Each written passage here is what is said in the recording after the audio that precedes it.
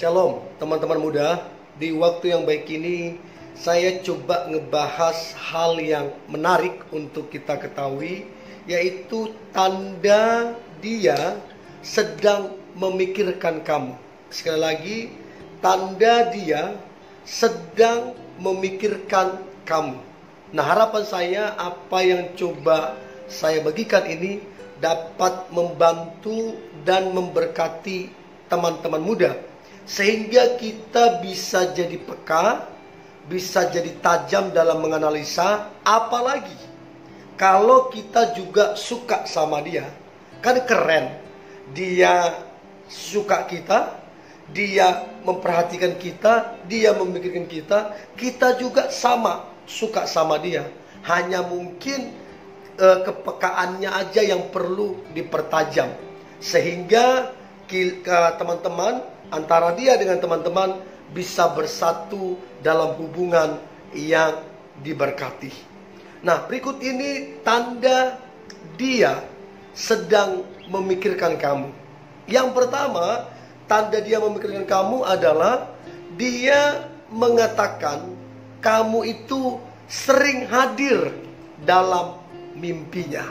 Nah, saya selalu sampaikan ada beberapa faktor mengapa orang sampai bermimpi. Ada beberapa faktor mengapa orang sampai bermimpi. Salah satu faktornya adalah terlalu dipikirkan.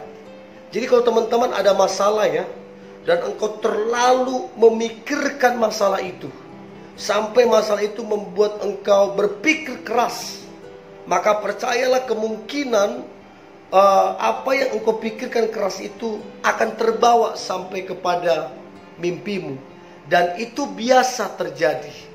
Jadi kalau dia bilang kamu itu beberapa kali hadir loh dalam mimpiku, itu tanda dia sangat-sangat memikirkan kamu sampai ke bawah ke dalam mimpinya.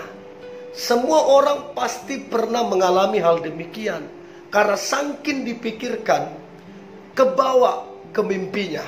So kalau dia bilang kamu beberapa kali ada dalam mimpiku, itu kode, itu signal betapa dia sangat memikirkan kamu. Itu yang pertama. Yang kedua, tanda dia sedang memikirkan kamu, maka yang kedua adalah dia suka mengirimkan pesan secara tiba-tiba tanpa kamu ketahui, tanpa kamu uh, tebak ya, tapi dia kirimkan secara tiba-tiba atau mendadak. Nah, kenapa dia kirimkan tiba-tiba mendadak? Kadang dia kirimkanlah waktu kamu lagi tidur, kadang-kadang dia kirimkan waktu kamu lagi kerja, Kadang-kadang dia kirimkan waktu kamu masih pagi-pagi sekali ya, baru bangun dia dikirimkan. Nah, dari situ kita amat-amati. Kenapa ya?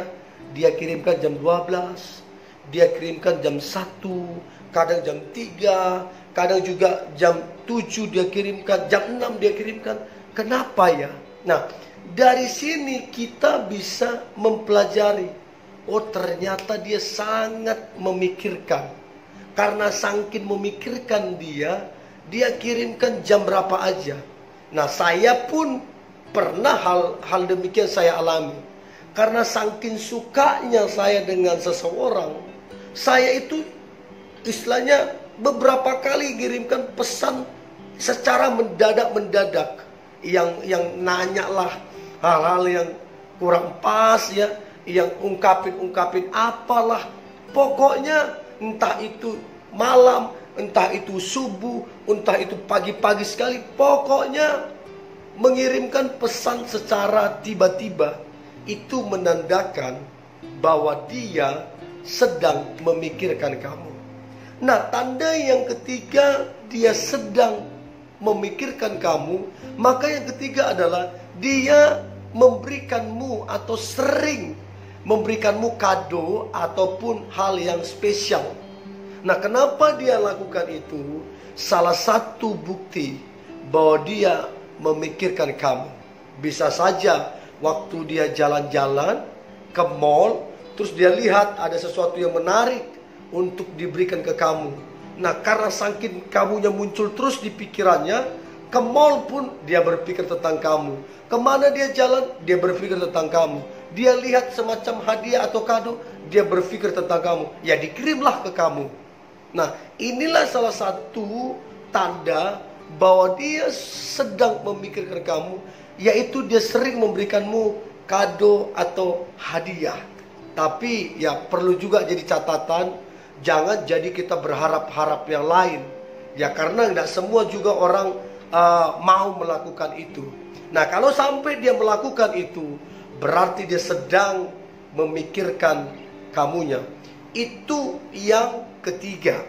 Yang keempat, tanda dia sedang memikirkan kamu. Maka yang keempat adalah dia selalu hadir di depanmu tanpa janjian. Ini artinya seperti apa sih? Artinya begini. Tiba-tiba nih, kamu lagi di rumah. Tiba-tiba dia sudah ada di depan rumah. Ya, kamu lagi nongkrong sama temanmu, tiba-tiba dia sudah ada di depan, ya. Tidak ada janjian, ya. Kamu lagi kerja, tiba-tiba dia sudah di depan kantormu ngejemput, tawari jemputan antar ke rumah. Tidak ada janjian, tapi tiba-tiba muncul. Nah, ini salah satu tanda bahwa dia itu sangat-sangat memikirkan kamu.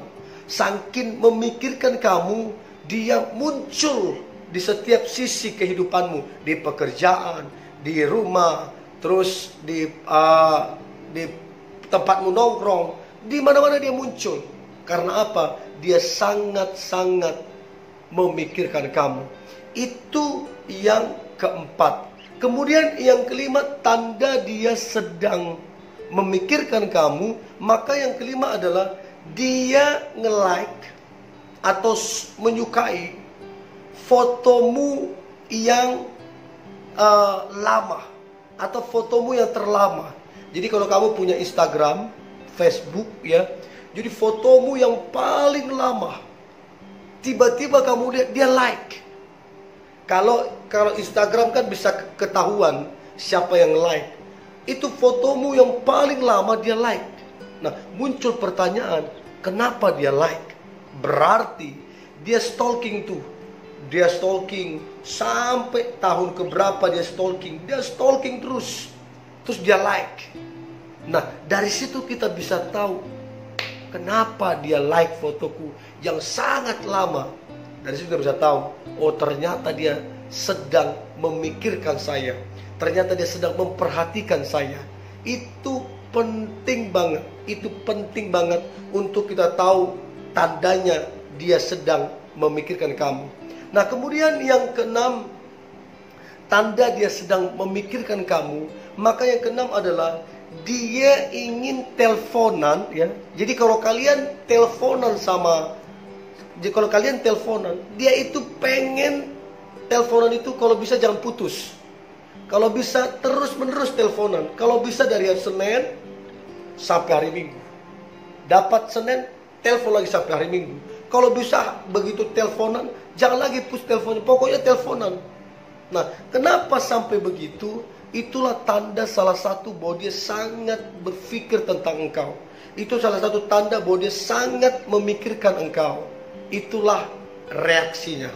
Nah, kemudian yang ketujuh ya, tanda dia sedang memikirkan engkau. Maka yang ketujuh adalah dia buat status di sosmed atau HP-nya yang berkaitan ten tentang kamu. Ya, saya nggak tahu apakah dia buat tentang puisi. Di puisi itu dia menggambarkan tentang ciri-cirimu, tentang tentang model kamu dia gambarkan dan dia buat puisi di situ. Dia buat kata-kata di situ menggambarkan pribadimu. Nah, dari sini teman-teman bisa tahu ternyata dia sangat memikirkan engkau. Ternyata dia sedang memikirkan dirimu sampai dia membuat puisi, sampai dia membuat kata-kata di sosmed dia ataupun di handphone dia. Nah ini yang ketujuh. Yang kedelapan, tanda dia sedang memikirkan engkau. Maka yang kedelapan ialah dia nyanyi atau berpuisi ya.